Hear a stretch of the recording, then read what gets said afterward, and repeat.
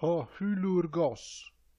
Tatu anthropu pros ton bion epiteedeia, tropen cae himatia heoracamen, nun acolusei he oikesis autu, en archei oikun hoi anthropoi en spelaiois, eita en caliasi e calubais epeita kai en skenais skenomasi teleutaion en oikois ho xulotomos temnei kai kataballei ta dendra toe pelekei e toe pristeri ex hon ta frugena menei.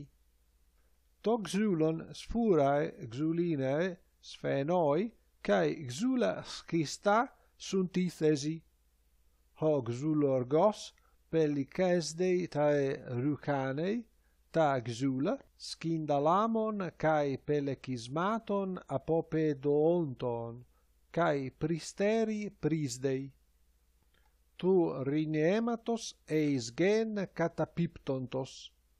Epeita prochaliae anelkei ton dokon epita hupothemata anctersi siderois empedoi, tai stathmei stathmisdei, hupographei, eita toichus synaptei, kai tas docus helois catheloi.